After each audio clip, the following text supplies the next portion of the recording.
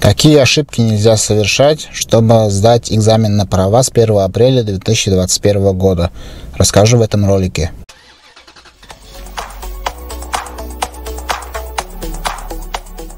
Друзья, всем привет! С вами снова Азат, это канал Автосправочная. В этом видео я хочу рассказать о тех ошибках, которые будут влиять на результат экзамена на права с 1 апреля 2021 года. Ранее уже я рассказывал о том, что с 1 апреля вступает в силу новый регламент МВД, который устанавливает правила приема экзаменов на водительские права. В числе прочих изменений Поправки коснулись и перечня ошибок. Ошибки были по-другому сгруппированы, и теперь они по-разному влияют на результаты экзамена.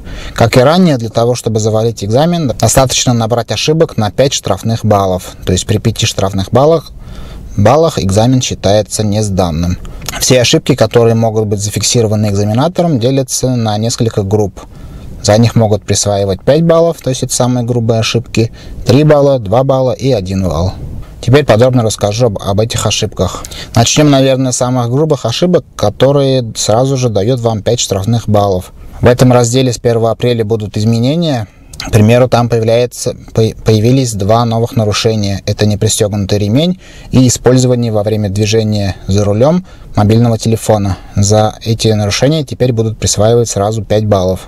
Также экзамен сразу будет заканчиваться, если действия ученика повлекли необходимость вмешательства со стороны экзаменатора, чтобы избежать ДТП. То есть, если экзаменатору пришлось экстренно тормозить, нажимать на педаль сцепления или тормоза, чтобы избежать аварии, то, естественно, экзамен после этого будет считаться несданным. 5, также 5 баллов будут присваиваться, если кандидат водителя не уступил дорогу другому транспортному средству, не уступил дорогу пешеходу, если пешеход имел преимущество, выехал на встречную полосу там, где это запрещено, или на трамвайные пути встречного направления, проехал на запрещающий сигнал светофора либо регулировщика.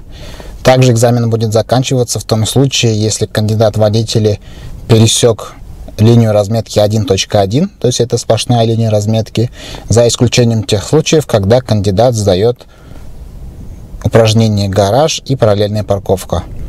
5 баллов будет также присваиваться за пересечение разметки 1.3, это уже двойная сплошная линия, а также за нарушение требований знаков приоритета, предписывающих знаков, запрещающих знаков и знаков особых предписаний.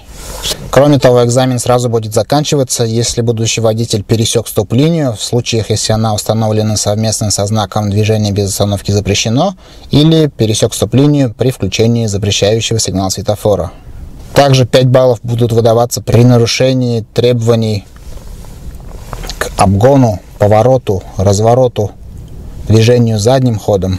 Если будущий водитель превысит разрешенную скорость или же нарушит требования к проезду ЖД переездов, то в этом случае также будет начисляться 5 баллов. То есть вот такой вот большой перечень ошибок, при которых экзамен сразу же после первой ошибки будет заканчиваться.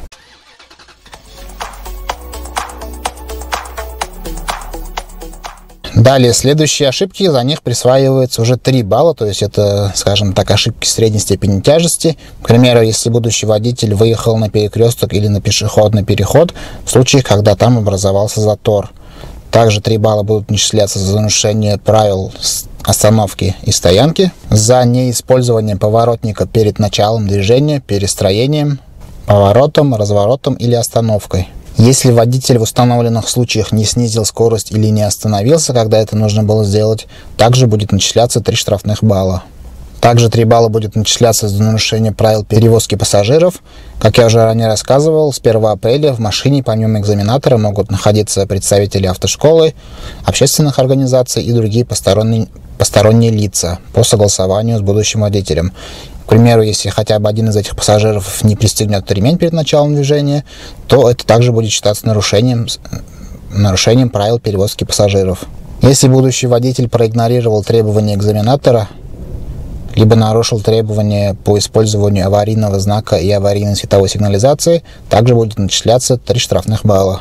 Помимо этого, также по 3 штрафных балла будет начисляться за нарушение при выполнении маневров, которые ранее сдавались на площадке. Это речь идет о эстакаде, о гараже, о параллельной парковке и о развороте в ограниченном пространстве. То есть за нарушение при выполнении данных упражнений также будет начисляться 3 балла. Далее, следующий раздел это у нас нарушение, за которое начисляется по 2 балла.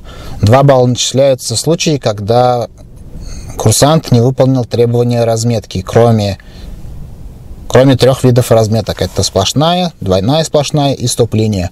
Во всех остальных случаях за нарушение разметки будет начисляться 2 балла. Кроме того, 2 балла будут начисляться, если курсант без необходимости двигался слишком медленно, создавая помехи другим участникам дорожного движения, если он нарушил правила расположения транспортного средства на проезжей части, то есть, к примеру, выбрал не ту полосу, а также за нарушение требований к использованию световой и звуковой сигнализации.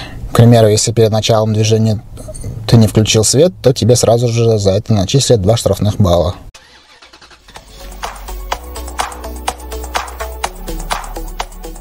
И наиболее мелкие нарушения, за которые будет начисляться один штрафной балл.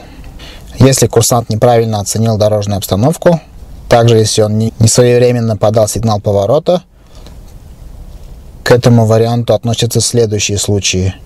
Если он не выключил поворотник после завершения маневра.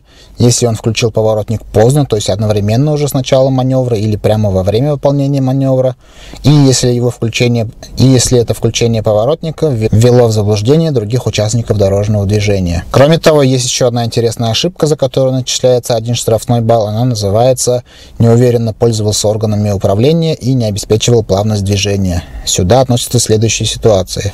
Если при начале движения курсант допустил резкий старт, то есть пробуксовку, либо рывок, резко затормозил. При отсутствии необходимости предотвратить аварию, не обеспечил плавность движения, не выбрал правильную передачу при начале движения, долго переключал передачи во время движения, без необходимости двигался слишком медленно, был дезориентирован в органах управления, либо без необходимости использовал некоторые органы управления, начал движение, не выключив стояночный тормоз, заглох двигатель и допустил неконтролируемый откат назад при трогании на подъеме без риска попадания в ДТП. Во всех этих случаях начисляется один балл. Кроме того, сюда же относятся все остальные иные нарушения ПДД, которые не попали в предыдущие разделы. Такая вот информация содержится в новом регламенте.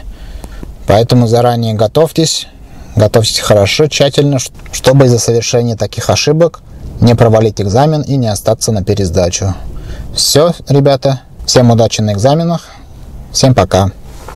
А если тебе понравился этот ролик, не забудь подписаться на мой канал, поставить лайк. Также, чтобы быть в курсе всех последних новостей, советую нажать на колокольчик, чтобы при появлении новых материалов тебе всегда приходило уведомление. А своим мнением по данному ролику ты можешь поделиться в комментариях.